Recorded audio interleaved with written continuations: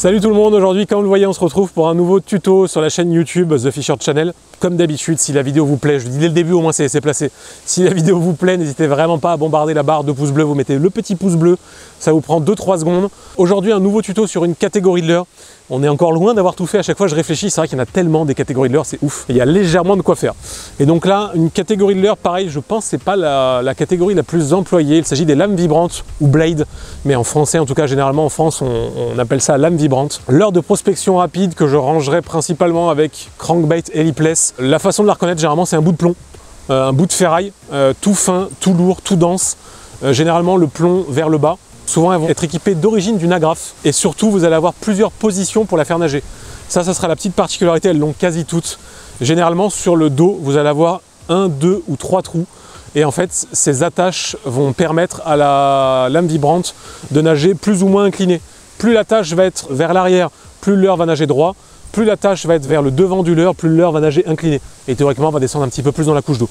Généralement, on met au milieu ou généralement on garde celle qui est montée d'origine, mais sachez qu'en tout cas vous pouvez changer, c'est toujours important à savoir. Autre avantage, ça ne coûte pas très cher, euh, on en trouve très souvent en dessous de 10 euros. Il y en a qui essayent d'en faire des plus sophistiqués, je pense vous en verrez peut-être en gros plan, pas sûr. Il y en a même des fois qui sont en plastique, euh, qui sont un peu plus épaisses, qui vont avoir des formes un petit peu bizarres. Mais bon, généralement ça reste un bout de ferraille avec les, différentes attaches, le plombage vers le bas. Autre particularité aussi, c'est les hameçons. Généralement, c'est des hameçons doubles qui sont montés sur les, euh, les, lames vibrantes, tout simplement pour éviter que ça s'accroche. Les hameçons vont toujours se positionner comme ça, généralement. Et donc, en gros, ça va éviter. Alors attention, c'est encore une fois, c'est pas une science exacte, hein, mais ça va moins s'accrocher généralement qu'un triple. Alors qu'un triple, là, je me serais déjà accroché. Donc ça va être le petit avantage. Elles sont pas toutes montées en, en, hameçon double. Hein. Il y en a qui sont montés en triple, beaucoup sont montés en double, il y en a même des fois qui sont montés avec juste un hameçon simple.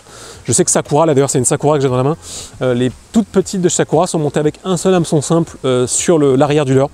Donc euh, voilà, en tout cas sachez que ça peut passer dans les obstacles relativement bien. Au niveau des poissons ciblés, perche quasiment à 100%, pas que, mais en tout cas c'est vraiment un leurre qui est fait pour la perche. ça déclenche les perches, c'est fait pour ça. Les brochets peuvent aussi bien réagir des fois dessus. Faites attention si vous pêchez le brochet avec, hein. mettez un badline adapté, là par exemple je, suis, euh, être en quoi, 30 je dirais.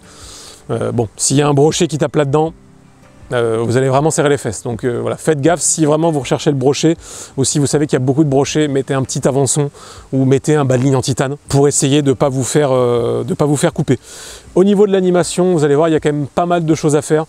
Euh, mais c'est vraiment vraiment un leurre sympathique et en plus je pense aussi euh, sous-exploité en France. Très honnêtement, je pense pas que c'est si pêché que ça. Vous me direz en commentaire euh, si vous pêchez vous pas beaucoup avec les petites lames vibrantes. Gros avantage juste avant l'animation, c'est que ça se lance très loin. Au niveau de l'animation, vous allez voir, rien de très compliqué. Enfin, on va commencer en tout cas par la plus simple qui vous permettra de prendre du poisson. Vous l'avez, vous avez l'habitude. Regardez-moi, ça se jette à une distance. Ça, par contre, c'est ouf. Du cranking, du cranking à fond à fond la caisse j'ai cru. J'étais pas du tout prêt, j'ai cru, alors en fait c'était juste un herbier.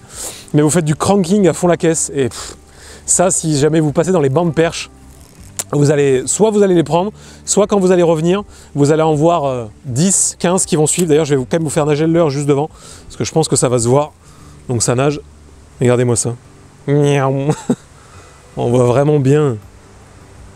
Ça vibre pas mal dans la canne, ça se sent bien. Et c'est vraiment des vibrations, c'est très frénétique. Mais ça, c'est vraiment, vraiment un super leurre de prospection. Ça se lance loin, ça permet, c'est ça en plus ce qui est cool, c'est que ça permet d'atteindre des spots que vous n'atteindrez pas avec un crankbait par exemple. Euh, des crankbaits qui jettent aussi loin qu'une lame vibrante, euh, va quand même falloir chercher. On va refaire un petit lancer comme ça. Et voilà, hop, vous lancez, vous ramenez, canne haute, là j'aime mettre canne haute pour éviter d'accrocher le fond. Et vous ramenez comme ça comme un gros bœuf. Si jamais vous avez des, des bandes perches, franchement, ça va super bien. Imaginons voilà, qu'il y a une, chasse de perches, que vous voyez vraiment des bancs de perches, des, même des chasses, des alevins sautés. Vous prenez une petite blade, ça se monte vite en plus, vous la lancez, vous passez à fond dans le banc, et s'il y a des perches normalement qui chassent, ça devrait le faire. Deuxième animation, ça va être la même chose, mais tout simplement, vous allez vraiment aller pouvoir aller plus lentement. Il n'y a pas besoin de mouliner comme un gros bœuf hein, pour que ça nage une, lame. Vous voyez, même à faible vitesse, la lame nage, il n'y a pas de problème avec ça. C'est ça aussi l'avantage honnêtement avec une lame, c'est que vous pouvez aller très vite comme très lentement, ça passera quoi. Voilà. Là maintenant on va passer sur une animation complètement différente. Hop, on va lancer, on va laisser la lame se poser sur le fond et là en gros le but ça va être de l'animer euh, doucement sur le fond, un peu comme un poisson qui serait en train de mourir, vous savez, qui, serait, qui se poserait sur le fond et qui remonterait comme ça, qui papillonnerait, qui redescendrait. On va essayer de faire à peu près la même chose. Donc en gros, on se pose sur le fond et on lui met comme ça. On la fait remonter dans la couche d'eau. On la laisse redescendre. Hop là, tout doucement, vraiment. Pas, pas une animation vive, hein. vraiment une animation très douce. Tout doucement comme ça. Et on la sent vibrer à chaque fois. Ça nage aussi à la descente, il n'y a pas de problème. Hop, tout doux. Et comme ça, tout doucement. Ça sur le basse par exemple aussi, basse, perche. Les poissons peuvent carrément venir la ramasser quand elle est posée sur le fond. Là, je fais, je fais vraiment doucement, donc j'arrache pas trop les herbiers. Et ça, c'est vraiment une animation très lente qui peut permettre de faire la différence quand les poissons euh, ne sont pas suiveurs sur d'autres techniques. Et ensuite, on va faire un dérivé de celle-là, mais en mode bien plus bourrin, donc d'animation. Là, c'était une sorte de dent mais une dent très douce en la posant sur le fond. Là, vous pouvez faire pareil, mais hop, vous mettez des grosses tirées. Hop, et vous mettez des grosses tirées. Et là, ce qui est cool, c'est que vous pouvez vraiment traverser les couches d'eau, donc pêcher vraiment euh, sur plusieurs profondeurs. Et pour trouver les poissons actifs, ça peut vraiment être cool. C'est l'avantage, de hein, c'est vraiment à l'heure de prospection rapide, comme je vous disais tout à l'heure.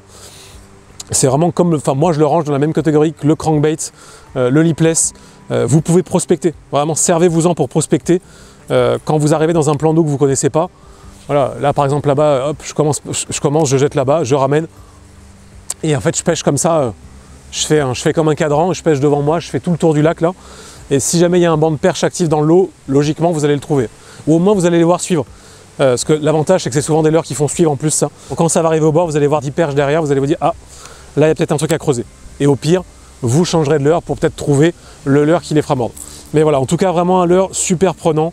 Euh, les lames vibrantes, les blades, euh, c'est vraiment un leurre je pense un peu sous-estimé, qui vaut pas très cher, qui permet de prospecter, qui est simple en plus quand vous débutez.